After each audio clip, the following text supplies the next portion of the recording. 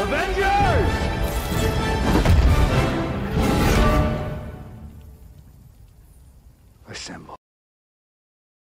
தி suicide squad இந்த DC மூவியை வேறு யாரும் இல்லை. மார்வலோட ஃபேவரட் டைரக்டரான ஜேம்ஸ் கன் தான் எடுத்திருக்காரு.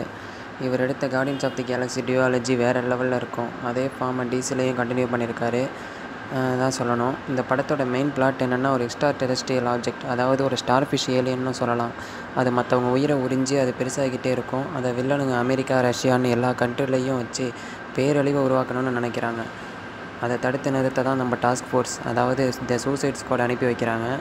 அவங்க அந்த ஸ்டார் ஃபிஷ்ஷையும் அந்த வில்லன்ஸையும் அழித்து உலகத்தை காப்பாற்றினாங்களோ இல்லைங்கிறது தான் படத்தோட மெயின் பிளாட்டு படத்தை பற்றி ஒன் வேர்டில் சொல்லணும்னா அல்டிமேட்டுன்னு தான் சொல்லணும். அதே நேரத்தில் படம் செம ஃபன்னாகவும் இருக்கும். அதே நேரத்தில் வயலண்ட்டு எமோஷன் எல்லாம் சரியாக மிக்ஸ் பண்ணி படத்தை நமக்கு கொடுத்துருக்காரு டைரக்டர் கண்டிப்பாக இந்த படம் குழந்தைகளுக்கான படம் இல்லை. ஆனாலும் அடல்ட்ஸ் இந்த படத்தை எத்தனை வாட்டி வேணாலும் பார்க்கலாம். அந்த அளவுக்கு படம் செமையாக இருக்குது உங்களை சாட்டிஸ்ஃபை பண்ணணும்னு நான் நம்புகிறேன்